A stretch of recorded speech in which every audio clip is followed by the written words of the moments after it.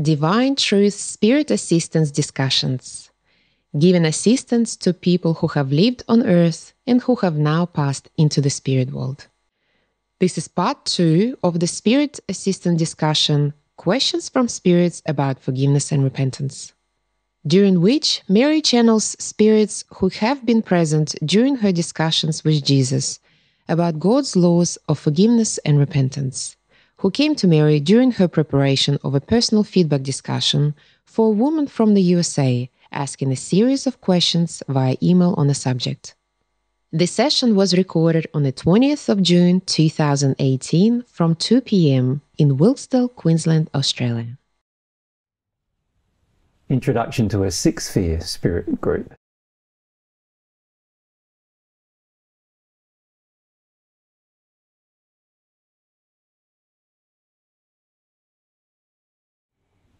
Hello.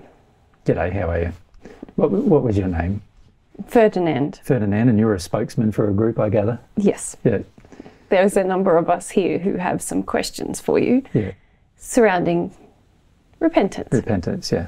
And Ferdinand, um, you've all been in the sixth sphere for various periods of time? yes. What's the longest period of time further? Uh, 20 years. So, So fairly recent visitors Yes. to the sixth sphere? yes, Yeah. all of us. Yeah, good day. It's a new environment. Yeah, lovely environment, huh? And ha- uh, how many are in your group? Uh, 10,000. Yeah. Lot, lots of friends? Yes. well, we are a gathering, I suppose, with Yeah. a common purpose. Yeah. Not necessarily all personal friends. acquaintance. Yes. Yeah. And um, the purpose of the gathering has been? well, to pose these questions to you about repentance. Yes. Yeah. So we have been observing some of your discussions. Yes. How long for? Uh, that also varies. yeah. For myself, uh, far more recently than some of the others, Yeah. but it has piqued a lot of my interest, Yeah. and so I would like to ask about it. Sure. Sure. So I should say that uh, all of us here have observed, in one way or another, the discussions that you have had about forgiveness and repentance. hmm The query we have is surrounding whether or not it is possible for a person to have engaged with repentance um,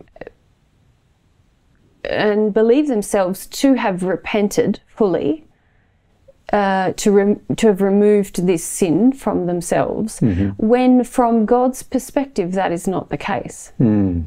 or from the law's perspective that is not the case. Well, uh, to answer that question first, obviously in the past, uh, in your progression, you would know there were times where you tried to convince yourself that a certain, a certain uh, bit of progress had been made. When after a while it became evident that it hadn't. Y- certainly, hmm. and hence the questions. Yes, yeah. Hmm. So, so just the logic of that particular analysis of your past experience would tend to suggest that it is possible to almost fool yourself into believing that it has ha- happened, isn't it? Yes, so I suppose the secondary question Yeah. is really then how does one assess, correctly assess whether or not repentance has taken place, either within oneself or within another? Well, it, it depends uh, how you measure it, as you know. So, so for example, if we if we look at your past experience up to the sixth sphere, we can see that um, when you made when you did make substantial, uh, meaningful improvements in your condition, there was a substantial and meaningful improvement in your life circumstances. Yes. So the surroundings changed, your surroundings changed, your experiences changed, your friendships changed, and so forth. Yes. So, so it, it obviously became quite clear to you then that you'd made some some kind of change, and usually at times uh, because of the change being so instant after you've dealt with something emotionally, you can see the linkage between the the thing you you dealt with emotionally and the change that was made. So you could see what was holding you back from that change. Yes. But a lot of that happens after the effect, of course. So, so you know, before the fact, you don't know those particular things. And that's the difficulty, isn't it? Before the fact, it's difficult to know. And a lot of times you need help from other people to show you what needs to be changed, and then you go ahead and make the changes, and then you realize how much that previous condition was impeding your change, mm-hmm. and how much that previous condition involves certain, shall we call them sins against God's laws. Mm-hmm. Um, uh, I don't know if that's how you see it, but sin against the law of the universe, if you like, mm-hmm. that that allow that allow once you corrected that particular sin, if you like, or disharmony with the law, mm-hmm. uh, you had the instant reflection of that change. So that's one way to measure your change, mm. to, to measure to see whether you've completed a process. The, the problem when you get to the sixth dimension is interesting though, because you've completed a lot of changes relating to your experiences with people. So, in other words, a lot of the, what you've gone through in terms of refining your condition of love is refining the, the, how you've treated people unethically or immorally. And then you've reached the condition where you've treated them better and you know, you feel motivated to treat them better, you treat them better, and that has risen or, or drawn up your own condition to a new place. And, and that's how many of you would have arrived in the sixth sphere mm. through this constant cycle of change. Yes. But now that you've reached the sixth sphere, it becomes quite plain because of the camaraderie and the friendship and fellowship that you feel between all of your brothers and sisters. It, it, it becomes quite plain that that you've probably dealt with a lot of that, right? Because otherwise, you wouldn't be in such a agreeable condition of uh, friendship with people, right? So then, how do you uh, and and do you all, believe that it's possible to reach a seventh sphere? I do, yes. Yes. Many of us do. Yes. Okay. So, and many of you know that a seventh sphere. You've heard from others that a seventh sphere exists. Yes. Yes. Okay. So, so obviously, to go from the sixth sphere to the seventh sphere requires some kind of change that you're yet to become aware of, but that obviously could be made, and, just like every other change you've ever made. Yes. And that has to be related to this issue of repentance because all of the other changes you've made have basically been related to either repentance or forgiveness in some way. In other words, they've been related to working your way through what you've done to somebody else or working your way through what other people have done to you. Yeah. But uh, the tra- transition between the sixth and seventh sphere, obviously, the fact that you there's no more people left to deal with any problem with, there's got to be a problem that exists that is not related to people. Well, could I clarify? Yes, uh, yes, okay, fine. All of that's fine. Um, uh, my question, our questions are not really self interested in the way that perhaps you're thinking. We, we're not, yes, we understand what you're saying about further progression, and that is a desire of ours. And but we still aren't clear, given your definition of repentance, really, when one could. Um, how could one explain uh, that repentance has occurred to another person? How could one understand it? I understand you're saying that the significant change in external circumstances in the spirit world is, a, is an indicator. But for mm-hmm. some of us, those changes happened in some cases gradually or mm-hmm. in large steps, and then in seemingly it went gradually again. And mm-hmm. so, at what point does re- can we say, I have repented for Everything. A, B, or C, Any single thing. Uh, how does one assess that? Well, uh, as I'm getting to in my answer, because I haven't really answered the question yet, um, obviously. But what, the reason why I gave all that background is because I wanted to present to you the next stage of development, which is, which is all about working through this issue of who determines, or who, the laws of the universe, which you've probably thought about them as the laws of the universe rather than God's laws at this point. Is that true? Yes, Yep. although I'm not opposed to the idea of God. I'm Yep. as as I've said, I'm a recent arrival here, and uh, yes, while most of my leanings are in that direction. I'm not opposed to many of the things that you say. Yeah. So, and are you opposed to the concept of a personal relationship with God? I would say I'm not unopposed, but I, I'm did you see recently? I had a conversation with a group of spirits. Uh, his name, uh, the group was led by a man called Sebastian. Yeah. Did you? Yes, and this had an impact upon me. And you you understand the logic that I talked about with uh, Sebastian about Yes. repentance in the sixth sphere. Yes. Yeah. So, so if we look at the situation, the, the real issue then becomes, well, what do I need to repent to for to reach the seventh sphere? If there is such a thing I need to repent for anything, what is it?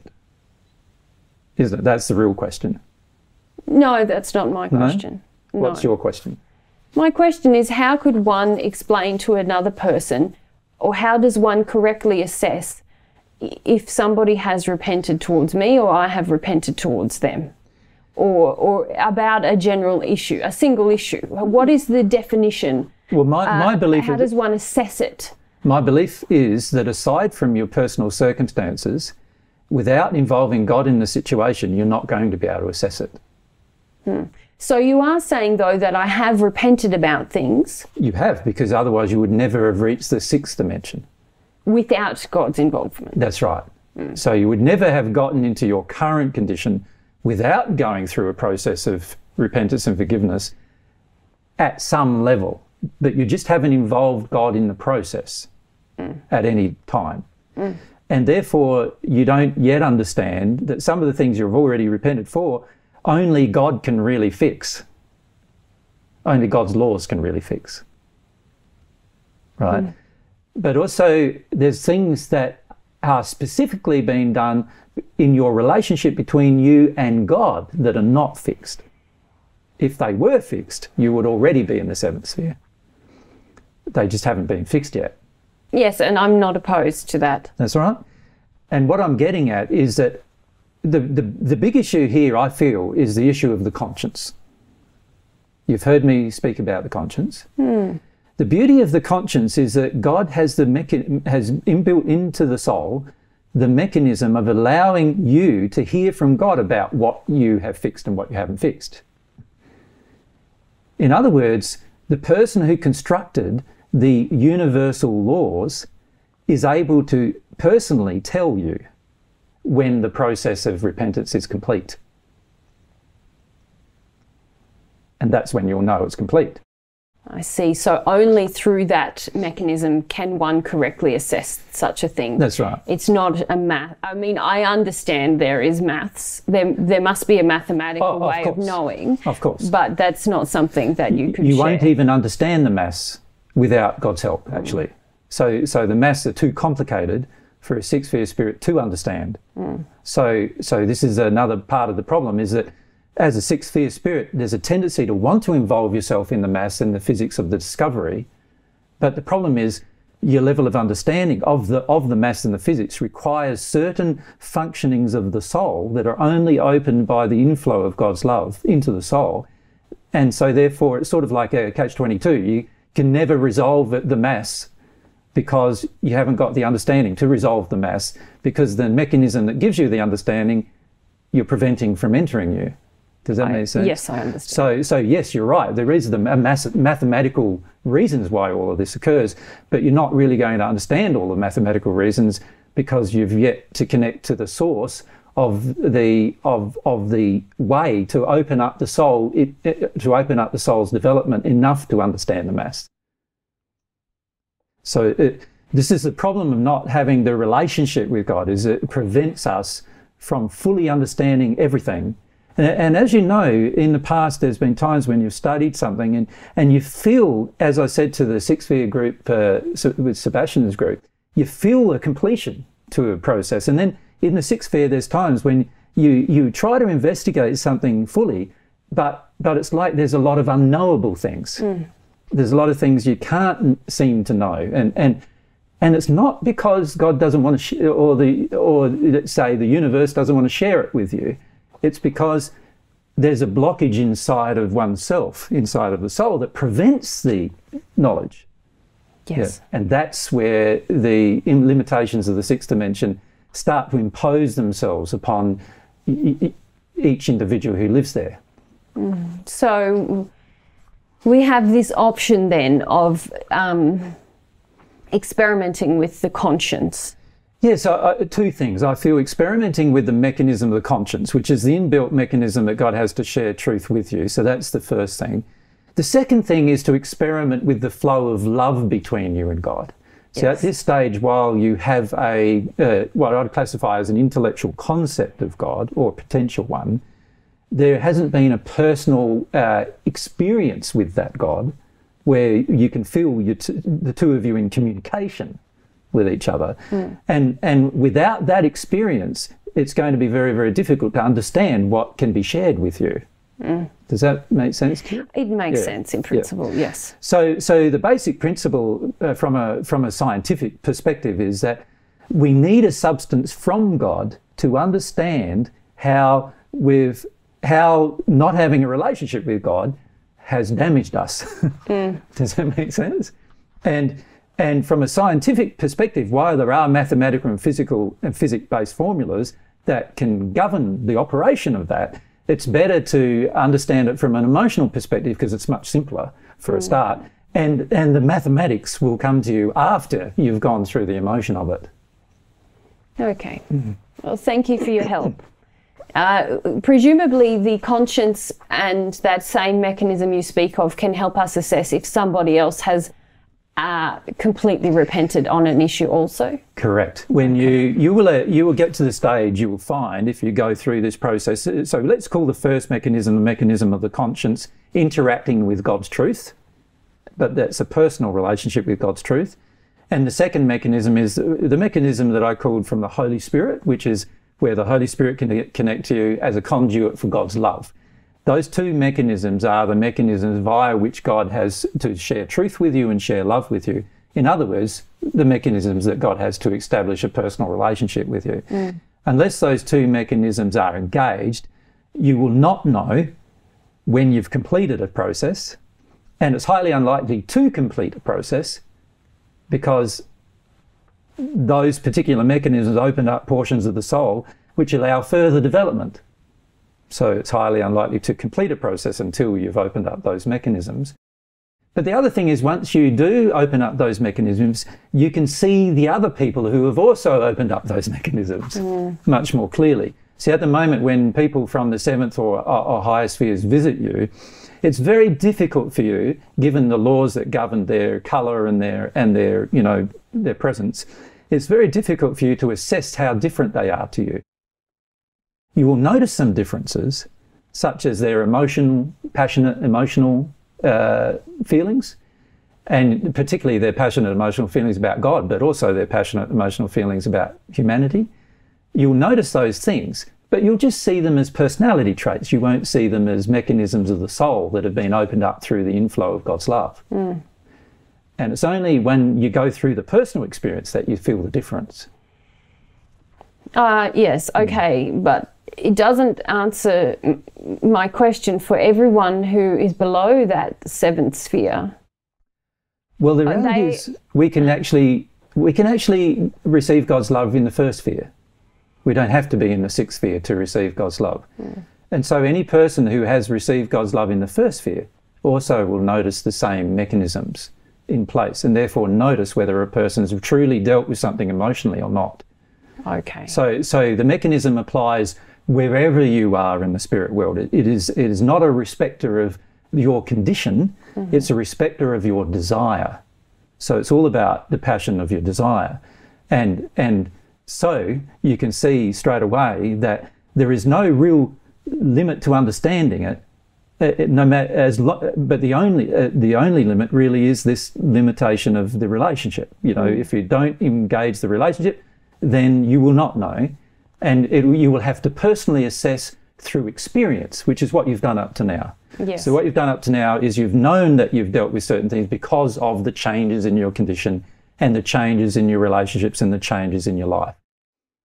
A person who's receiving God's love doesn't need to see changes in their condition or their life. They will feel them. They don't need to see them because they've got God telling them, mm. "You've made a change. Here's and here's how it fe- and here's how it feels." They, they're sensitive to their feelings. Here's how it feels. This change. This is why you're in this f- new feeling state. Okay. Make sense? Yes, And that's capable at any condition. So there is a way to know when you and everyone else around you has fully repented. And there is a way to know when you've repented for individual things. But one way is through the personal, you could say, the self reliant process of examining the circumstances of the individual in the spirit world. Of course, that's much harder on earth because, as you know, on earth, there's many people in dark condition who have uh, seemingly nice surroundings, right? Yes. But in the spirit world, it's very different. But, but that way is a sort of a personal assessment way through circumstance, whereas this second assessment is really God's assessment. And God can more rapidly tell you whether you dealt with something or haven't dealt with something than you can do it through your own personal experience. So I'd much rather have someone tell me, "I've not yet, someone I can trust, you know, God, not someone who's just a person or a man telling me, but someone who actually knows telling me, no, it's not dealt with yet. And then I know it's not dealt with yet, you know, and that makes my life simple. And I, I just, uh, what do I need to deal with? And he would tell me that too. And can you receive that same information about somebody else? Certainly you can, but you have to be firstly open to receiving it about yourself, Yes. which, which is actually a law, which you would have already discovered. You have to be firstly open to receiving truth about yourself before you can receive truth about another. yes. Yeah. And is it possible to mistakenly believe that a process of forgiveness is complete when it is not? Not with God's assistance, but it certainly is possible without God's assistance, because as you know, we can at times be self delusional. so, Yeah, so- particularly before the sixth sphere, we're uh, especially delusional. And in the sixth sphere, we can still be delusional about our relationship with God.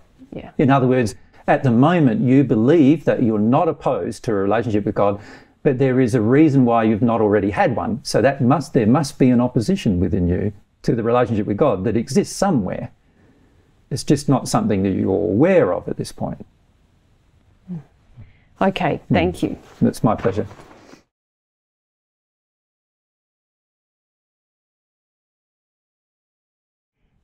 The six sphere spirits never like your preamble. Oh, they- No, no, they get they get they're like, very. I want to We already answer heard the that. We already heard that. Yeah, Yeah, yeah, yeah. Answer the question. They are very resistive to the personal application of truth. Is what I constantly feel when when Hmm. we because we've been doing that a bit more lately. Yeah, it's channeling six sphere spirits. And, Hmm. Yeah, it's, it's funny. Yeah, the key is just keep, keep giving them more things to think about. Sooner or later, their feelings will bother them, Yeah. and then hopefully they'll make some progress. You know, but my my feelings are like because they're not feeling it is it can be sometimes for a feeling person easy to give up on them, but the reality is they still like they still would benefit from God's love. So if you can help them in whatever way you can, Yeah. uh, Yeah. It's interesting, isn't it? Like, as a medium and as the person speaking to the spirit, your intention and desire can affect the spirits quite a lot. That's what I'm finding. And so it does take some, if I exert some effort on my part to actually uh, kind of, it's weird because it's not conscious, but I feel it in a, like emotionally. It's like to kind of encourage them to stay.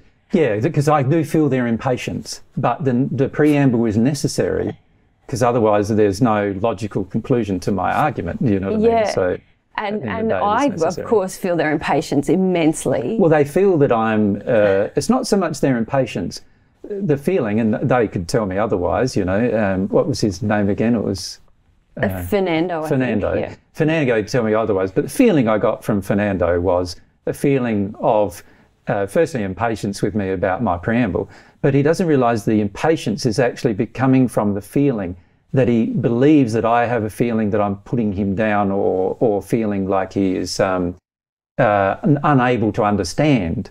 And Yeah, I didn't feel that from him as much as this resistance to what I felt from him. And I, yeah, no, what I'm I- saying is the purpose, the cause of his resistance is this underlying feeling that I'm somehow denigrating him through the preamble. Do you understand? He wants me to get to the point without actually explaining, uh, without, estab- without establishing a foundation for the point. yeah, he felt he felt you just want me to do your do things God's way, and I want to still have the personal choice whether or not to do things God's way. yes. And and so he he felt And he doesn't realise that that particular emotion yeah is his resistance to God. Yeah. His particular, almost every sixth sphere has um, an emotion uh, about God going, no, damn it, even if there is a God, I want to, they, they think they're going to lose themselves by connecting to God, basically. Mm. They, mm. they believe that to maintain some level of self determination, they have to remain disconnected from God. Yeah Right. And it, and it's such a fallacy because actually connecting to God causes more self determination.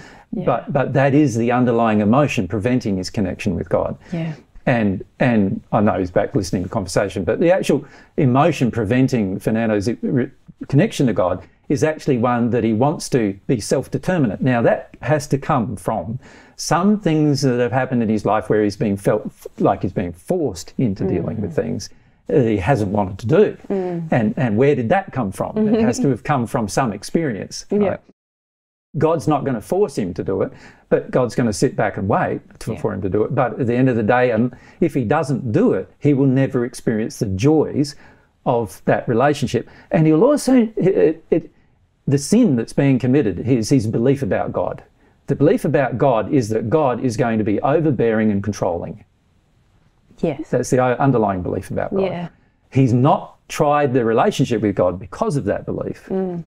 And because he continues to believe that about God, it is a sin against his relationship with God. Yeah. Because you're basically implying that God has those motivations and God doesn't. Mm-hmm. Right? And because of that particular sin, it's impossible to connect to God. yeah So, so you know, these are these are very important things to understand. If you want to make progress, you've got to see actually my belief about God that God's going to be this overbearing parent, even if He's nice and kind and He's made my pretty place in the sixth sphere, He's still going to try to force me into doing things, and and I'm resistive to that. Yeah.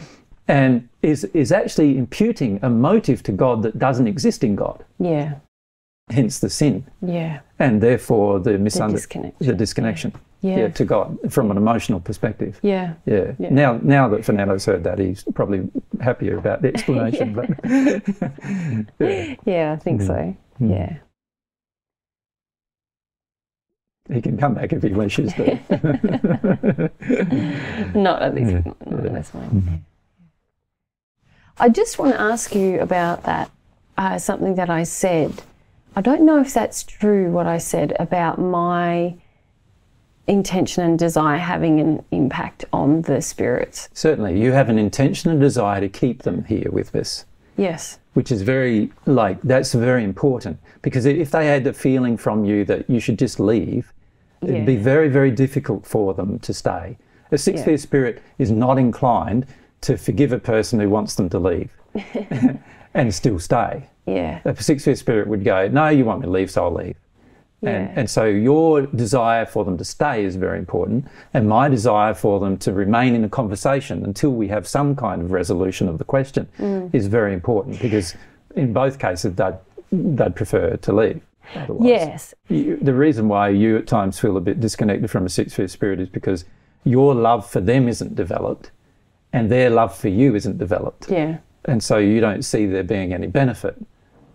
Do you see? But aside sometime- from a, aside from a, a righteous benefit, do you know what I mean? Yeah. Okay. There's no personal one. Yeah. Hmm. Okay. Yeah. I don't feel like yeah. Okay. It's something about my yeah my love for them is not developed beyond the their their projection of their impatience, for example, feels very overbearing to me. Well, it is overbearing, Yeah. but but when I'm very tired, I'm just like you just you just Oh. want to run away then. Yeah. yeah, I'm like, guys, I'm hanging in, hang around, hang around, hang Yeah. around. It's going to be okay, hang around. But it, it's sort of like, it's harder for me to exert that upon them. Yeah, but you can see with Sebastian's group the change that was made, Absolutely. and so it is worth the you know it's worth forgiving them for their it's worth the physical discomfort to do it. Well, yeah. it's a forgiveness of their impatience in the end that needs to be worked through, but. yeah. you know, it's worth forgiving them for their impatience because at, at the end of the day, you know, you know that the relationship is going to have an improvement if they Totally. respond. You Yeah. Know? Totally. Mm. Yeah. Yeah.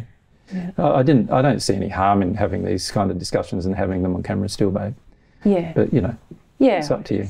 I think it's helpful for people who want to develop their mediumship Yeah. because they'll have feelings of the similar of a similar nature where they're feeling imposed upon by the spirits that are with them and Well, well, that's the thing that I don't understand. Like, it's obvious for me at times where I'm kind of.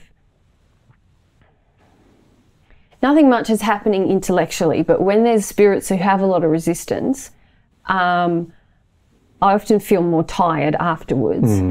Um, but that's because you're you're that's what I was going to say. I they're fighting their emotions and they connect with you fighting yours yes, and so naturally you're going to feel tired tiring. when when they're no longer fight it's like when we were talking to Sebastian in the first instance you were very tired after that conversation Yeah. when we were talking to Sebastian after he broke through you livened up and like you were really enjoying the conversation yourself then And that wasn't a difference in my openness to emotion. That was a difference I felt into me. Like I have, I obviously have sadness triggered when other people are resistive.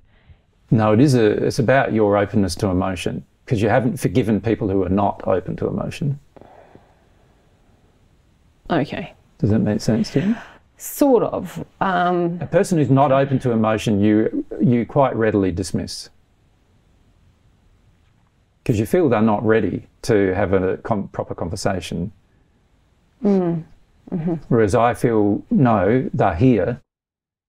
This is a good time to have a proper conversation. Mm. Do you know what I mean? A different Yeah. feeling. yeah, and I think that's And I know you've engaged it more, you know, because you feel like it's good for you, but but you still have a feeling yeah, with people who do not engage emotionally that there's not much point in having a conversation. yeah. Hmm. Or it's something about the resonance with my own resistance to emotion or something. I don't know.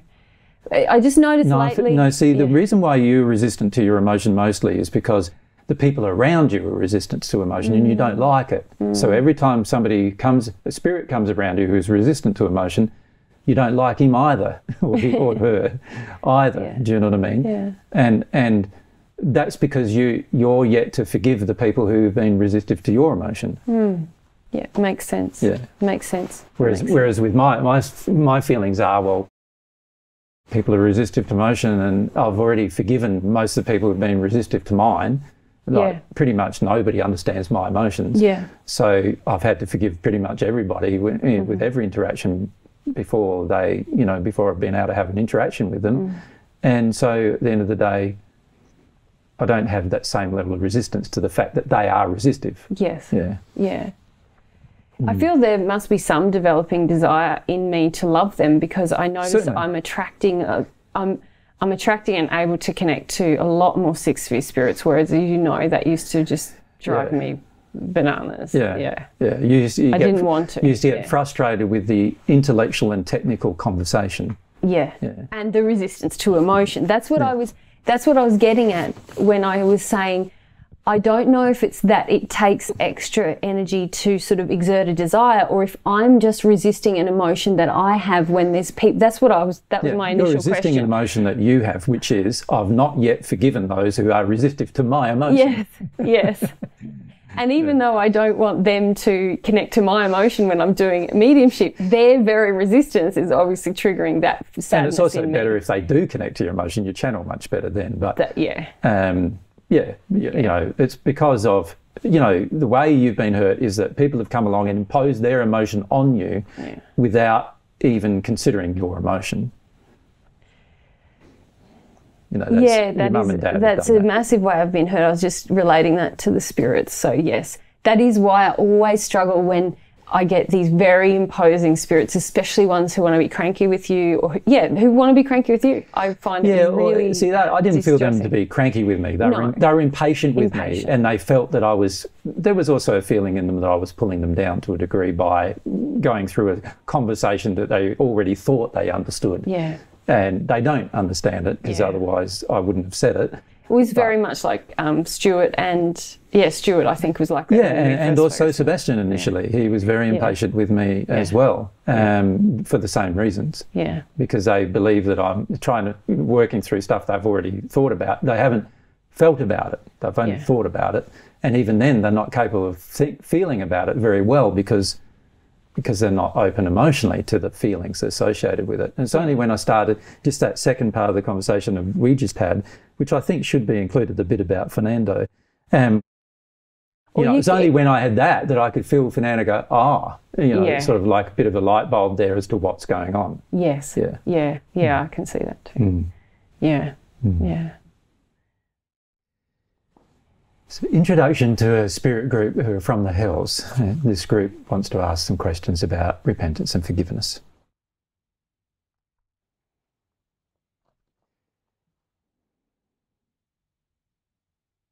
Hello. Hello.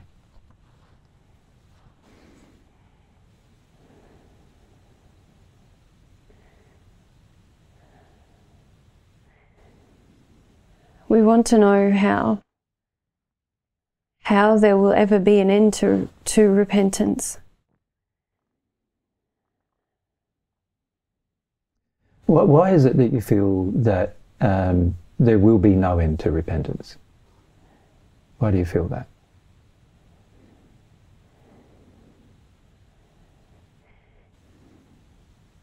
It feels we are forever repenting and paying for our sins. Mm-hmm. How can we ever make amends? We stay here, we know we're bad. Mm-hmm. We don't say- know what more we should do. Well, um, firstly, when you say you stay where you are, you know you're bad. Um, firstly, where are you? Do you do you know where you are? No. No. And when you say you know you're bad, how, how do you know you're bad? We know the terrible pain we felt when we came, and it's still here with us. Yeah. Yeah. We know we did wrong. Yeah. We see some things that we did wrong. Good. Good. eh? Do how do what do you feel about what you did wrong? Bad, so bad. Yeah. But have you cried about it? Loathing, self loathing. Yeah, self hatred is what you feel, isn't it? Yeah. Self hatred actually prevents you from repentance. So you haven't actually been going through repentance yet. Self hatred is like the expression of your guilt towards yourself and rage and anger towards yourself. And How, how do we pay for what we've done? well, you don't do it by being angry with yourself. Do you understand? You, you've got to stop being angry with yourself. In fact, being angry with yourself prevents you from seeing what you did wrong. Right? And also prevents you from seeing what others have done to you as well. Understand? So at the moment, at the moment, what's happening is that you're trying to be angry with yourself so you don't have to cry. You actually feel sad, but you're, you're, you're putting a layer over top of that of anger to stop yourself from feeling sad. And that, that's angry with yourself. You're trying to attack yourself and punish yourself. And that's not what God wants you to do at all. I can't bear myself. When you say you can't bear yourself, what you're really saying is that you can't bear your feelings. Mm, I can't bear them when you, whenever you talk and Yeah. when you talk about the sadness. I can't bear it. I can't. I just want to So you'd rather be angry. scratch. Yeah, and you'd rather be angry with it, wouldn't you? Can you see that? And that's not repentance. So you know how you've been thinking you've been repenting. Yes, and when it will ever end. Well, it's, if you keep doing this, this will never end. While you do this, it's never going to end. Because this is not repentance. This is being angry with yourself. And being angry with yourself, from God's perspective, is just as bad as being angry with someone else. It's not good for you. It doesn't help you. Do you understand? So being Not angry, really. being angry with yourself is not the answer, is what I'm saying. How do I be sorry? Well, firstly, you've got to stop being angry with yourself. So, so that's the first thing you've got to do. You've got to stop being angry with yourself. Can't. Stop punishing yourself. Now, there's a fast way to do stop that. So what I'd like to do is help you stop that. All right? So what we're going to do, and if you were happy to do this with me, is we're going to ask God to tell you whether it's good for you to hurt yourself all the time.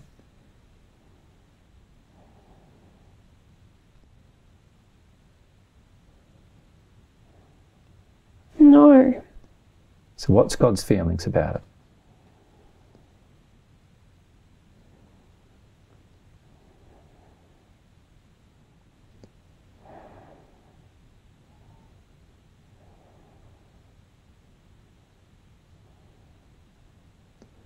So you can ask God, what, what do you feel about me hurting myself all the time, punishing myself and being angry with myself all the time? And let yourself feel what God feels about it. Oh, I can't. You just need to let yourself feel what God feels about it to get the answer, though. And it doesn't matter if you cry or be upset, that's fine. The key is to let yourself feel what God feels about it.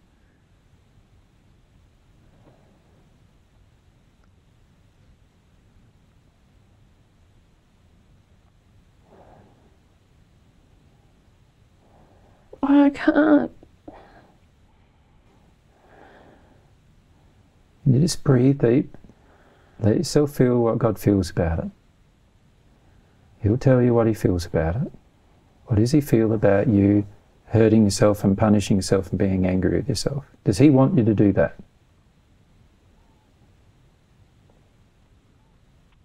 No, I know no, but I can't feel. I can't feel more than no.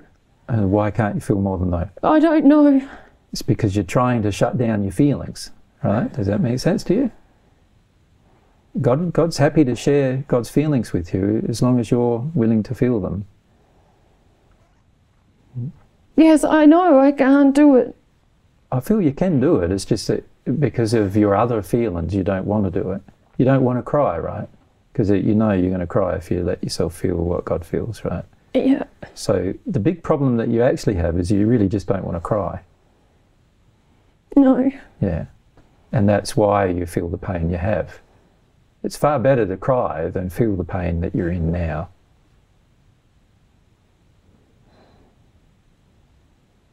How can I do it? That's all right. Well, let, let's let's try another feeling, right? Another thing.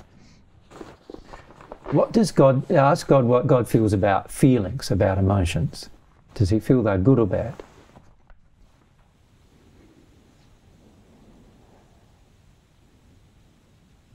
Good. Good emotions are good. And some and some emotions, what does he feel about anger? Anger is that feeling an emotion, or is it trying to stop a feeling of an emotion? Which one is it?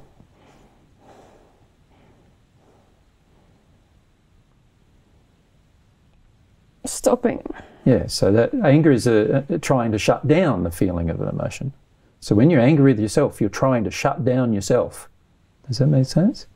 Now, does God want you to shut down yourself?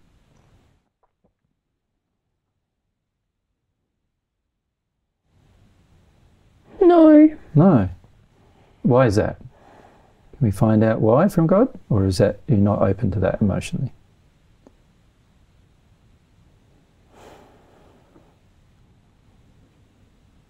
What's God saying to you about that?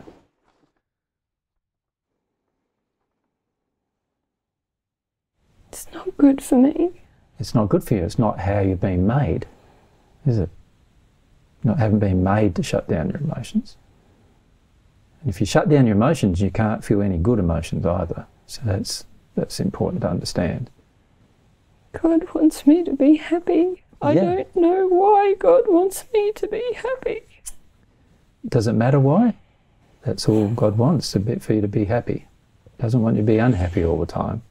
He doesn't want you to be attacking yourself all the time. I don't deserve to be happy. Well, that's what you believe, but what does God feel? Ask God what God feels. Do you deserve to be happy? That's what God says. Yeah, we do deserve to be happy. Right?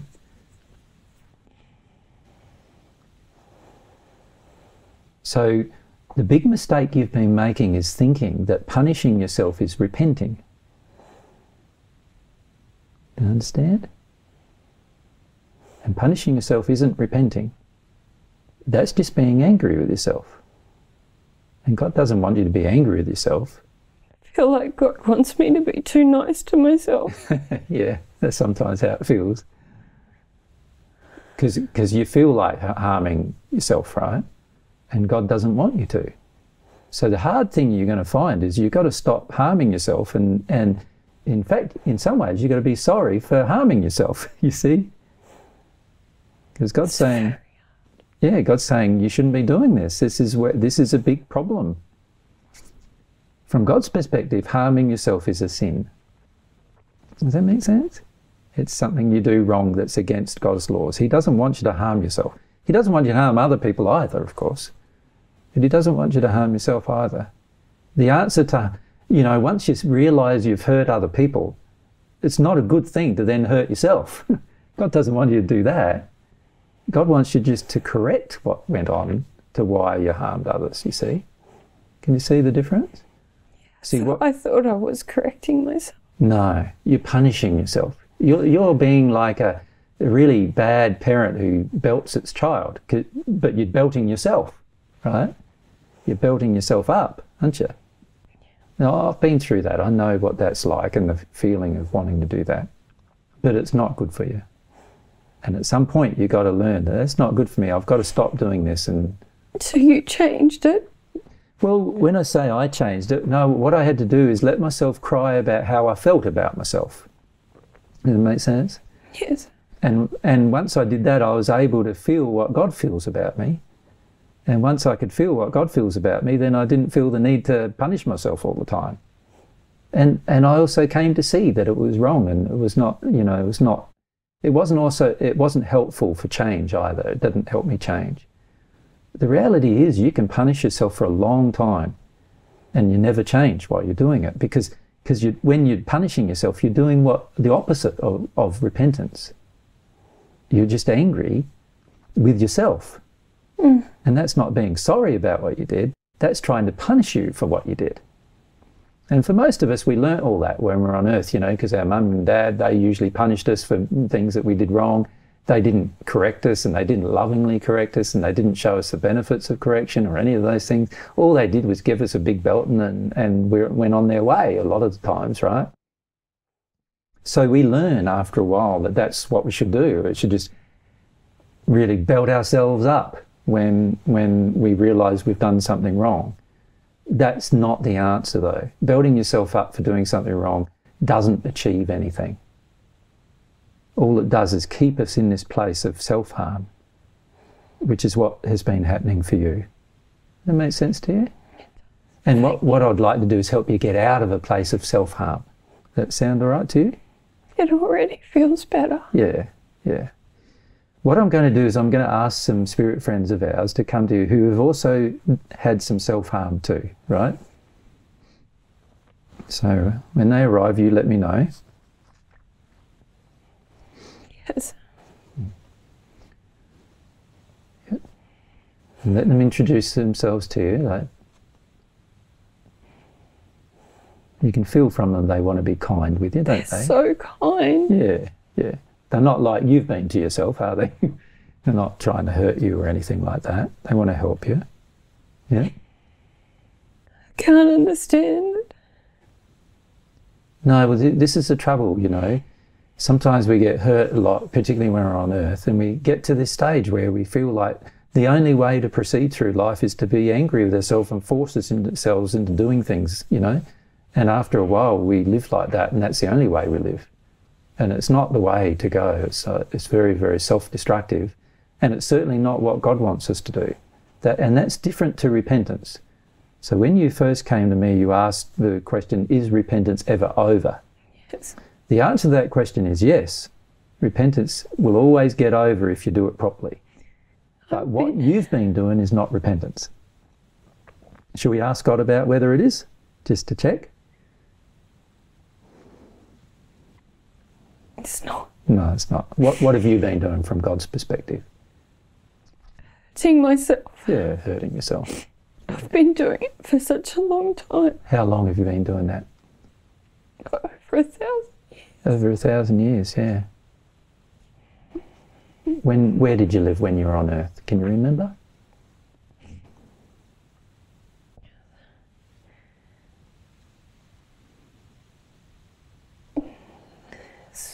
Scandinavia. Yeah. yeah. It's a long time to hurt yourself, isn't it? That's why you feel it's never over, you see. You've always wanted to hurt yourself that whole time.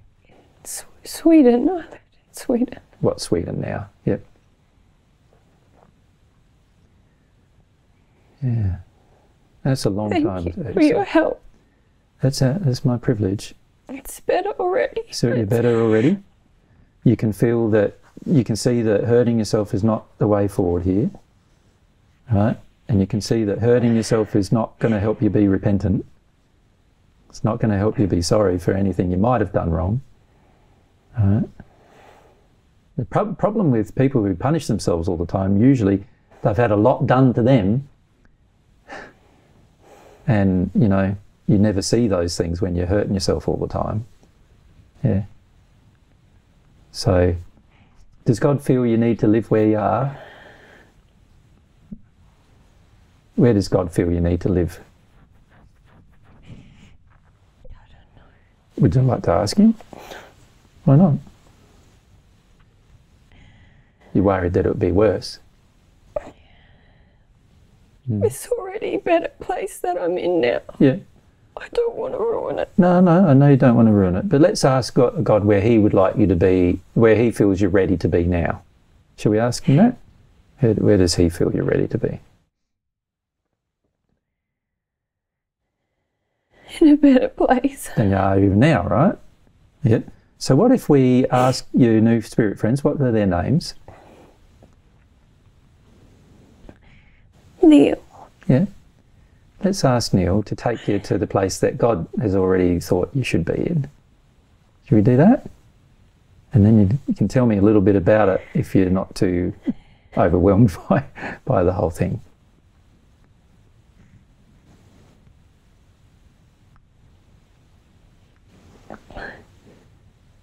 You're allowed to be there because God said you're allowed to be there, so you don't have to run away from it.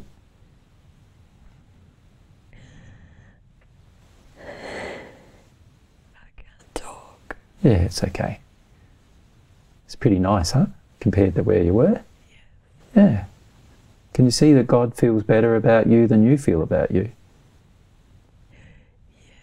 And the biggest problem that you've had is that you're not being willing to let what God feels about you be what you feel about you. Make sense? And you need to let yourself do that. And Neil's going to help you do that, right? But don't run away from the new place, will you? It's a nice place, isn't it? Much nicer. Don't run away from the place, eh? Because it's It's a bit hard. It makes me very sad. yeah, because it's going to help you emotionally to feel your feelings. So that's a good good thing. That's where God feels you need to be. So you need to trust God that that's where you need to be and be there. Make sense? And He'll help you be there. And if you want to run away, then He'll hopefully a few times go and find you where you're gone, get you to come back. But He's not going to do that all the time, is He? Yeah, if you want to be somewhere else, well, you're going to have to let yourself be somewhere else. But it's better if you listen to where God feels you need to be and just deal with whatever you feel. Make sense? I don't want to go. No. It's a nice place, a much nicer place, eh? So the question was if is repentance ever over? Yes it is. But what you were doing wasn't repentance. What you were doing was punishing yourself and attacking yourself and hurting yourself. And that's not repentance. That make sense? Yeah. And it's a good lesson to know. Thank you so much. Mm. What was your name? Tarny. Tarny? Uh, I'm glad we talked, Tarny.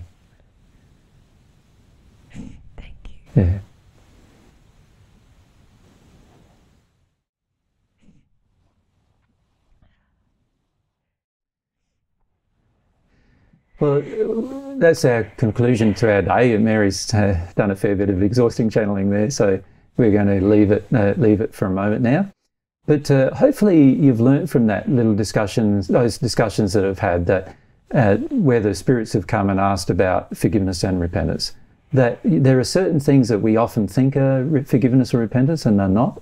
And also that we can be easily fooled into believing that we are being repentant when we're not and we've got to be very, very careful of the problems of self attack and self loathing because they do actually cause, cause us to not be repentant. And on the forgiveness side, sometimes we can search for forgiveness and from other people while at the same time be completely blind to what we need to be sorry for, and which is something that we obviously also need to address. So hopefully through those uh, small ex examples of different spirits and what they're going through, you've had you've learnt some of the emotions that can interfere with the processes of forgiveness and repentance and also some of the underlying belief systems that people have that interfere with the process of forgiveness and repentance that they carry from the earth eh, all the way through the spirit life and even right the way through to the sixth sphere of the spirit world so hopefully you've learnt uh, some of those lessons from those particular spirits and I'd like to thank Mary for doing that channeling for us, even though she's quite tired today. Oh, it's okay. Thanks, thanks for yeah. that, darling. Thank you, darling. Yeah, and I'm glad that we've been able to share with you a bit more information about how the processes of forgiveness and repentance affect you after you've passed in the spirit world. So thank you for your time, and we'll catch you another time.